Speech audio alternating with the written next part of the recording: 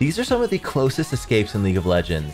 Lee Sin kicks the Ezreal, but Yuumi tanks the Q, only to jump out and sacrifice herself for the Ezreal. Next up, we've gotten Ashe, about to get hooked by Blitzcrank, but Annie flashed Tibbers to tank the hook, and they get the kill. Next, you can see Sett flash ults the 2 HP Riven. Skarner pulls from the middle of the air, and they actually kill the Sett. And this one, mid Kai'Sa ult hook, unbelievable timing.